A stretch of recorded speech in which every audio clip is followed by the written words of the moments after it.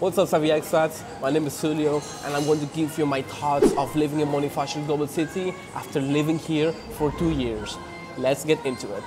Bonifacio Global City is a city very unique compared to the rest of the Philippines. It's a first-class metropolis where most foreigners live in. I've lived here for almost two years already, and in my opinion, BGC is fantastic on almost every aspect. Like for example, the convenience. The convenience is something very important when it comes into moving to a city. And Bonifacio Global City has that trait. It's a 15 minute walk going to every place.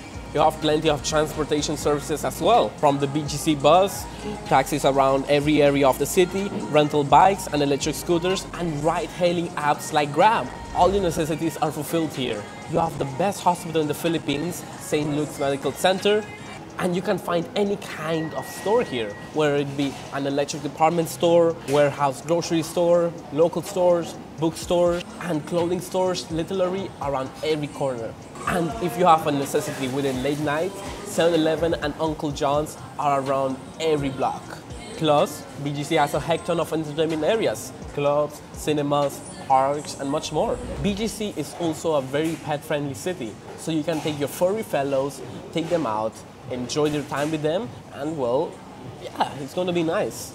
There are open parks and areas dedicated just for your furry friends.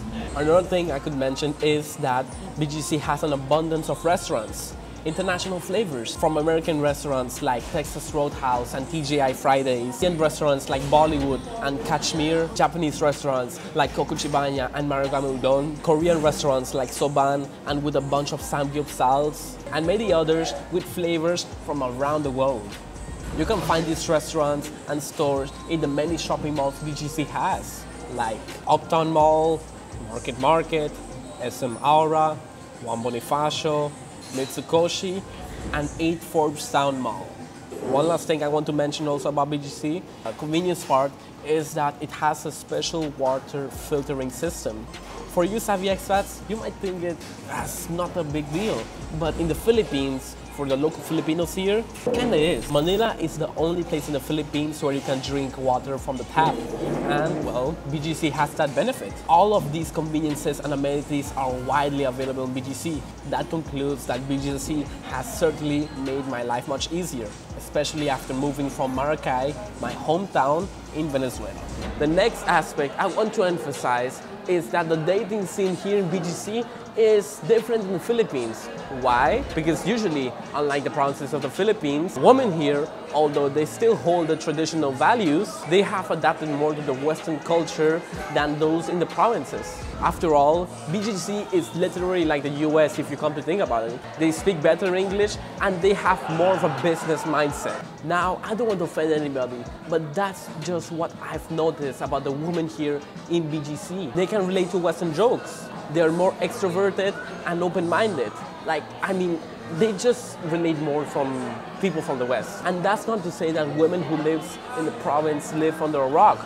I'm not insinuating that whatsoever. My point being, women from BGC can relate far more with Westerners. This means conversations are held with ease, jokes are more understood, and the standard of life is familiar to them.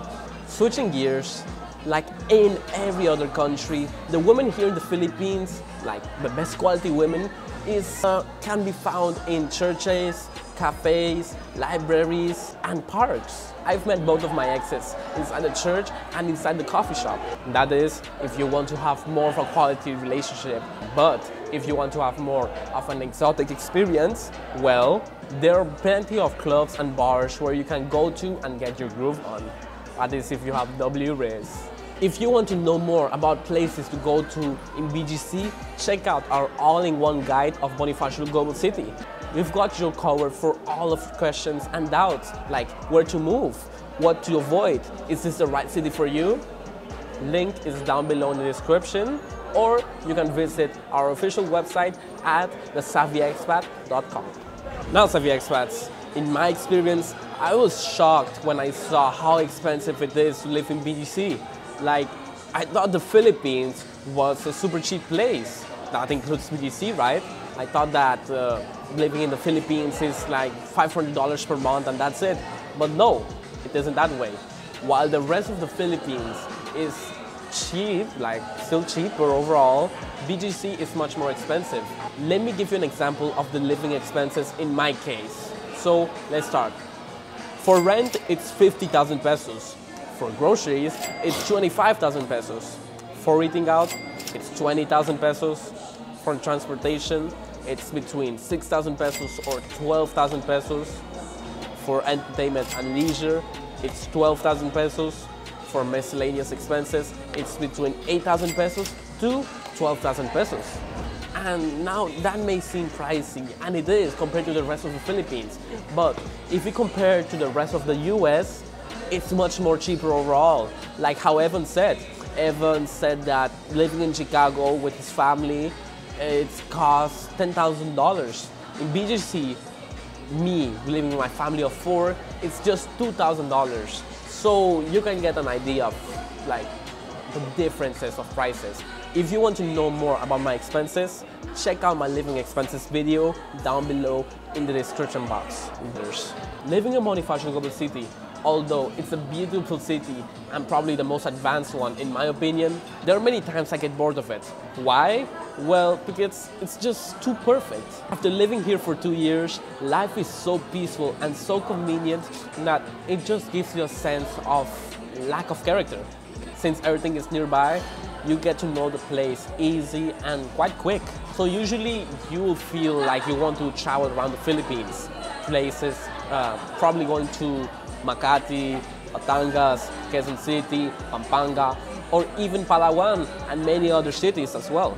Now, here are some things that I've noticed about Bonifacio Global City. I've noticed that in Bonifacio Global City, there's no blackouts whatsoever. There are frequently blackouts within the provinces or other cities.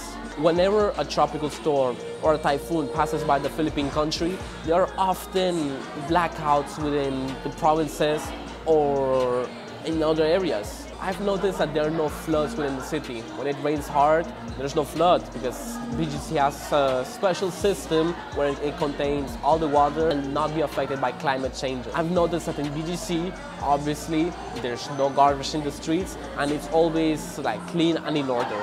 I've noticed that in the convenience part of the city, BGC has free public Wi-Fi spots almost everywhere you go to. You just have to put in your phone number when connecting to that Wi-Fi and well, you're connected. I've also noticed that there's literally little to no crime whatsoever.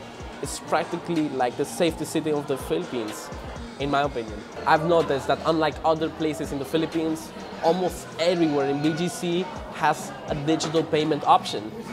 I've noticed that since there's a lot of greenery in BGC, a lot of trees and grass, the air quality here is much better. In the end, after explaining to you Savvy Expat all of this, BGC, even though it's not the most perfect city, it's a place where you can enjoy life, spend time with your friends and families, and well, feel fulfilled with all of your needs. So that's it, Savvy Expats. I hope you guys enjoyed this video, and I'll see you on the next one. God bless.